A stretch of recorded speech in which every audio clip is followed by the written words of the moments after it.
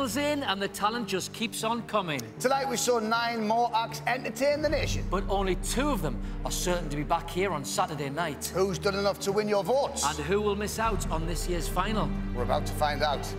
This is Britain's Got Talent. The result.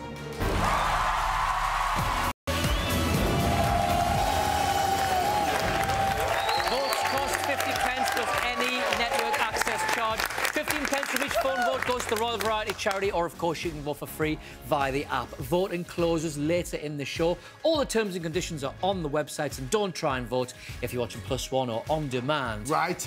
Now remember, they can only make the final if you vote for them. We're backstage with all of tonight's acts. Well done, guys. Another great semi-final. Well, give yourselves a round of applause. You deserve it.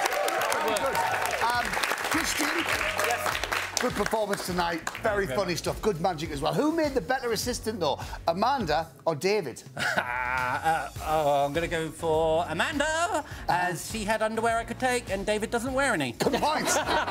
You mean you had a rummage? A little you had a little rummage. Good for you. Good answer. Good Uh, answer. balance. Taylor, have you seen your, your mum or your brother yet? Any of the have- family? Yeah, they came in, in at the interval. They came and gave me a massive hug. Did and they? Yeah, it was lovely. How did So they say it went? They... They said it was really good. My mum didn't have any words, just tear streams. Oh, bless her. thrilled? Bless her. I'm not surprised. Uh, collaborative orchestra and singers, some amazing comments there tonight. Amanda and Alesha both said that you could already, you could grace the Royal Variety. That, that must make you very happy. Oh, absolutely fantastic. We are, uh, you know, a local orchestra from Wapping in London, and then Ah. suddenly we're in the semi-finals of Britain's Got Talent, and we have a chance to play for the royal family.